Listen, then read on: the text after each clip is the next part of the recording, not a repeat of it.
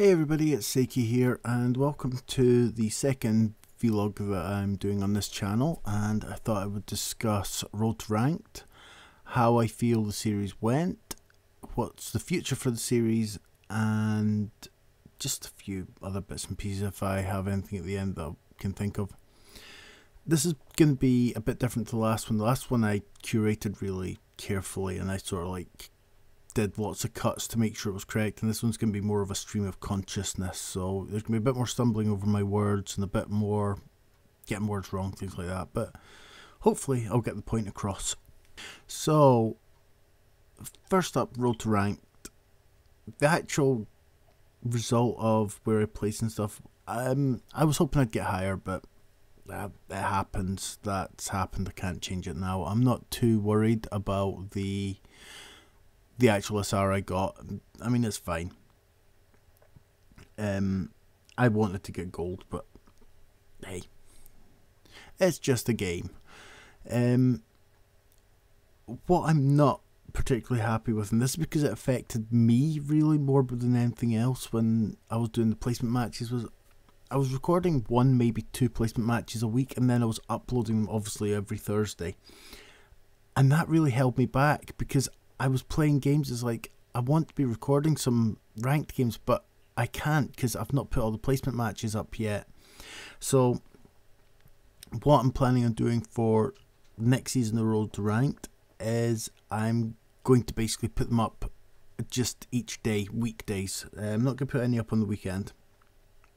But on the first day of the season, so that's Tuesday the 28th of February, I'm going to record the first couple of matches. I'm going to get them immediately edited and uploaded to the to YouTube so that they can be released on the 1st and 2nd of March respectively and then I'll just record another couple each night and get them edited and uploaded until all 10 placement matches are done.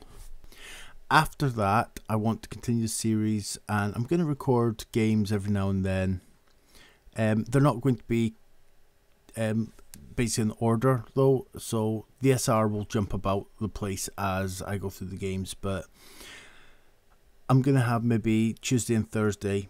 There'll be a road ranked game up. If something really cool happens, I might put an extra one up. Obviously, I mean I've got that option. But Tuesday and Thursday is gonna be road ranked day, and that's how I'm going to continue with the series from there just because I think that that format is going to work a bit better. The the one a week staggered like that, like say, just just didn't work for me.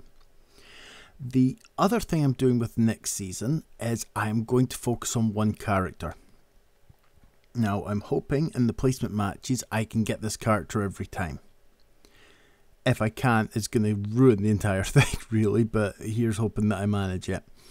When it comes to the like recorded matches after that, I will only be showing matches where I played that character. I'm not telling you what the character is. I'm not going to tell you because I'm going to slightly rename the series, a bit of a play on it to fit with the character. But um, I have been playing that character a little bit in quick play and what is competitive at the moment, just getting some practice in, and I'm doing. I think okay for my level anyway. I, I mean, there's obviously room for improvement. I'm not, not even um, diamond or gold, well, platinum. I'm trying to correct word. No, it's platinum after gold, isn't it? Yeah. So I'm, I'm not platinum. I'm definitely not diamond. So um, I'm hoping though, like I say, goal for next season is to get to gold. That is that is where I'm aiming. The other thing is, as much as I'm going to solo queue the placement matches, all of the future matches, so anything else I do, I may do in groups with people I've met basically online with some of my actual friends, things like that. And just spice it up a bit, make it a bit more interesting. But again, those matches, it's just going to see what happens really. As for the channel, um, I'm still developing the Looking Back series. Um, I have a script written for, or mostly written for the first episode. I have the footage recorded for the first episode, but just life and work and things like that have meant that I've not managed to put it all together. That's kind of on the back burner, and but it will I will come out. I, I do want to do it. I, I love games from when I was a child. Well, I say a child, uh, early teens and about 10, 11. I really did love games that I played back then on my consoles, and I want to share them with the world. And basically, the fact that there's going to be a lot of people out there that have never even heard of some of these games, which is an absolute travesty. I would like to speak to you about a video I put out though, and I'm actually going to share some information with you um, here because it's it's something that a lot of YouTubers say, and I just want to um, make the point as well.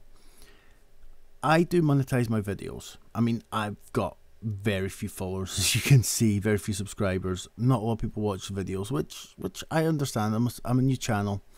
That's going to build up. But I did a sort of first very quick look at a game called Curveball, which is a VR game that the dev was kind of giving me a code for. So, full disclosure, I didn't pay for the game, it was given to me.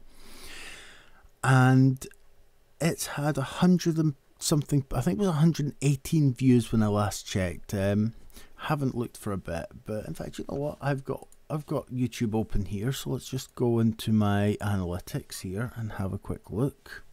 So take a look at Curveball. Has currently had 149 views, which for me is a huge amount. Out of that, though, the amount of views that um, actually count for monetization is 18. That's a staggering, like staggeringly low percentage of the views that are monetized, and that will be due to AdBlock. Now, I'm going to put my hands up. I use AdBlock as well. I, I think everybody has to these days. That too many websites that have um, malicious ads on them. I don't blame anybody for having ad block on their computer, but seriously, just a little thing like whitelist, whitelist my channel if you can please. I mean, I don't ever expect to make a living off this, but there's a few things I want to do. Like, I want to do more reviews, and I want to be at the point where I can at least cover buying games to review them through ad revenue and through my channel revenue. But obviously, I'm I'm no place near that at the moment. But the one video obviously that I've had that could have potentially generated a bit of revenue to help me buy another game uh, you know you can see that you've see, heard the results. So if if you are listening to this and you could find it in yourself to just whitelist my channel, please please do it. It will help me a lot. Well, thank you very much for watching and sitting through the discussion and the bit of a rant I had at the end there.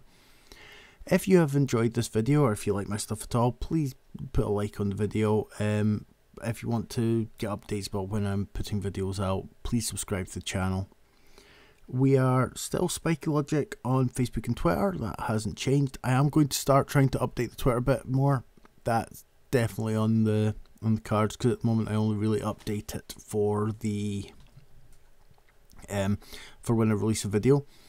You can also follow at Sakey, but it's S4KEY if you want a bit more information, like just a bit more about what I like and what I post. But you're gonna get lots of non-gaming content like ice hockey, Formula One, things like that in there as well. Lots of geeky stuff. It's all good. It's all good. But once again, thank you very much for watching. Thank you for coming to my channel.